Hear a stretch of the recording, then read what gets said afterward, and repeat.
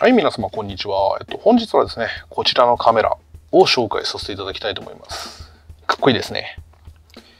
はい、えっと、こちらのチャンネルでは、このようなかっこいいカメラとか、あとはそれに伴う面白いパーツ、または珍しいオールドレンズ、私がいいなと思ったものを紹介させていただいております。なので、そういったものに興味がある方がいらっしゃいましたら、ぜひぜひチャンネルの登録をしていただければ嬉しく思いますので、よろしくお願いいたします。はい、えっと、改めまして、本日はこちらですね。ミノルタ、今はないメーカーです。ミノルタさんのアルファ9。まあ、ないっつって言ってもソニーさんと吸収合併されまして、ミノルタのマインドっていうのはソニーの中で生きてるかなと思います。ね、アルファ9、当時のフラグシップですね。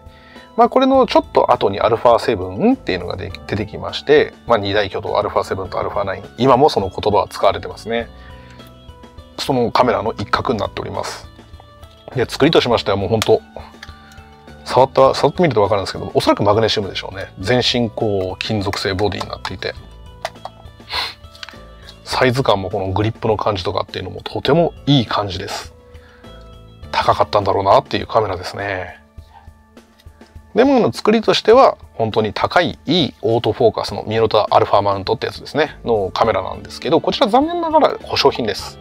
ミラーがアップしちゃってて電源入れてもなんかバッテリーのマークが点と点滅するだけで何も動かないんですね。でもまああのちょっとかっこいいいいカメラだったので紹介したいなと思って本日はこう動画を撮らさせていただいております。であのこの当時のミノルタミノルタさんのカメラはとてもファインダーの見え、まあ、写真を撮る時の見え方ですね。それがとても素晴らしかったということでしてまあ私もちょっと試してみたいなと思ったんですけどミラーアップしたままなのでそれはちょっと覗くことは叶いませんでした。はい、えっと、それぞれ機能なんですけど、こちらがまレンズの振り外しのボタンですね。で、あの、すごくやっぱフラグシップなんだなって私が思ったのが、こうボタンを押すと、下がった状態でこうロックされるんです。なのでこのボタンを1回押すとレンズっていうのは取り外しできる状況になりますね。で、取り外します。で、取り付けると、このロックの金具がありまして、その金具がこうレンズのマウントが通過することによって、こういう風に出てくるんですね。まあ、すごく凝ったユーザー目線に立った便利な機能なんじゃないでしょうか。まあ、あの、これ、ちょっと残念ながら動作はしないんで、これを装着して動かすってことは叶わないんですけど、このように便利な機能がついております。でオートフォーカスですと、こちらのマイナスネジのようなパーツが飛び出てきておりまして、マニュアルにすると引っ込みますね。こちらのレバーはオートフォーカスマニュアルです。こちらがシャッあのオートフォーカスの、まあ、あの、当時の、今もまあ似たような言葉なんですけど、シングルオートフォーカス、オート、え、オートオートフォーカスなのかな？オートフォーカスのそのシングルとコンティニアスのどちらにしますかっていうのをボディが選定してくれるモード。を私は使ったことがないので A モードはちょっとわからないんですけどまあそれと C サーボオートフォーカスとか言われてるやつですね。S はシングルだと思います。それとちょっとメーカーによって名前がちょっと違ったりとかするんで間違ってたらごめんなさい。でこちらがまああの設定ができるかどうか機能的に今のデジカメみたいな性能がついてるかどうかわかんないんですけどこちらプレビューのボタンだと思いますでこちらがあの暗いところで距離を光ったあの測ったりする時の赤外線赤いライトがつくのかなっていう感じでしょうね。であのこちらが露出ですね露出の調整プラスえっ、とまあ3なんでしょうね3までとマイナスの3まで設定できます。で、えっ、とそのシーターにこちらはフラッシュの強さのフラッシュの露光露光量なのかな？露出量なのかな？ちょっとわかんないですけどプラス3からマイナス3まで調整できるようになってます。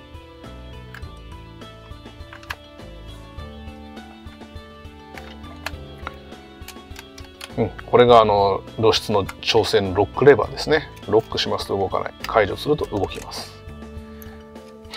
で、えっと、こちらが、ファインダーのアイカップがないんですけど、ファインダーの中にこう膜を出して保護してくれるパーツで、こちらが視度の調整レバー、ダイヤルですね。で、こちらにアイセンサーもついていて、まあ、こちらがあの電源のオンオフのレバーになります。で、あとアイシステム、これ目を近づけるとオートフォーカスが働いたりとかっていう設定ができたりとか、まあ、それのオンオフですね。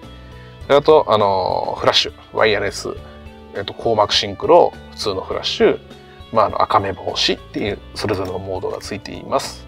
で、オートフォーカスのボタン、親指オートフォーカスを使う人はですね、半押しでもできるのかもしれないですけど、それは設定次第なのかなと思います。で、あの、それぞれの調整のダイヤル。この辺はもう今の一眼レフ、デジタル一眼レフと一緒ですね。に、伴って私のわからないところなんですけど、こちらなんか2種類 BR と DR ってあって、そちらの撮影モードがそれぞれついています。で、あとは ME、これもちょっとわからないですね。これはあの、セルフタイマーだってのはちょっとわかるんですけど、それぞれ DRC、SC、BRSC っていうモードがあって設定できるようになっています。おそらくシャッター速度の調整なのかなごめんなさい。あの、それがちょっと私にはわからないで申し訳ないんですけど、調べていただければいいかなと思います。で、こちらが片側の液晶のバックライトだと思いますね。で、こちらが速攻の種類ですね。それぞれ調整できます。で、あの、露光量のロック、露光ロックですね。それぞれできますね。あと、こちらを開きますと、データ、フィルムの巻き戻し、ISO 感度の調整とかアジャスター、それぞれいろんな機能をこの液晶見ながら調整できるみたいですね。で、あの、他のパーツをつける。これ、リモートって書いてあるリモートコントローラーなのかなの、えっと、カバー。で、こちらは、合わせて、よいしょ。縦の、縦クリップとか、そういったものを装着するときのパーツになってるんでしょうね。端子になってるんでしょうね。で、こちらに電池が入ります。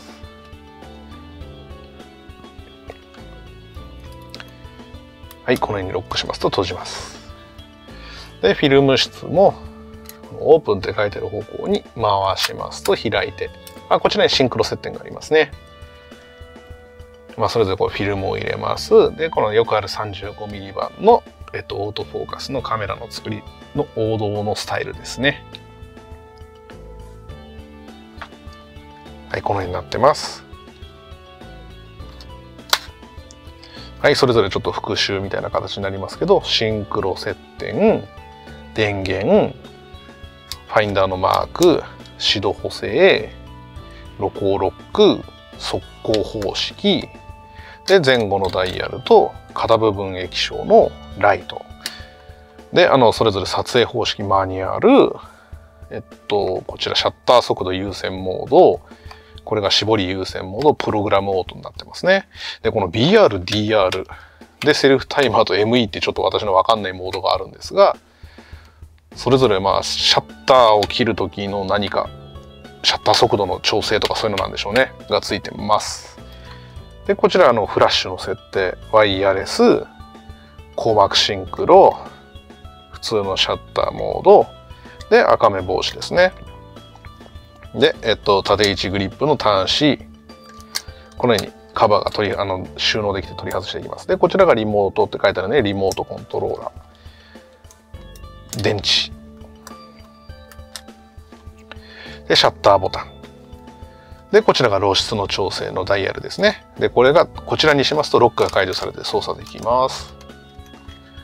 で、こちらがフラッシュの強さの調整。プラス3からマイナス3まであります。で、シンクロ、言ったかな？シンクロ。で、便利な機能は、こちらのロックですね。これは非常に便利だと思います。で、それぞれオートフォーカスのモード。で、プレビューのボタン。あとこちらフラグシップ。こういうでかいカメラの中では珍しい、非常に珍しい機能が一つついております。まあ、なんと内蔵フラッシュがあるんですね。で内蔵フラッシュってこういいボディになる系となくなる傾向があるんですけどこちら α9 にはそうしっかりとついています、まあ、ちょっとした暗いところとかもフィルムなので今のデジカメみたいに ISO 感っていうのは後から調整できないのですごくいいんじゃないでしょうかこういうのついててくれるっていうのはどうしても撮影できない場面とかってあると思うのであとはこちらそのオートフォーカスの迷う時にライトがつくところですねあとそれぞれのコントロールとかデータとか見たりとか巻きも巻き巻き戻ししてくれるボタンとかですね。で、AB オートフォーカス用の AF ボタン。それぞれこういった機能になってます。まあ本当にかっこいいカメラです。なんかちょっとこういうの持って持つとフィルムカメラで写真撮りたくなりますね。はい、えっと本日も最後までご視聴いただきありがとうございました。あのこちらのチャンネルではこのようにあのかっこいい昔のカメラとかあとは私がいいなと思ったパーツ、あとはオールドレンズですね、そういったものを紹介しておりますので、そういうものが好きな方はチャンネルの登録をしていただけると非常に嬉しく思います。でまた私のとてもいい励みになりますので、いいねのボタンを押していただけると本当に嬉しく思います。いつも押していただいている方ありがとうございます。はい、えっと、本日もありがとうございました。またよろしくお願いします。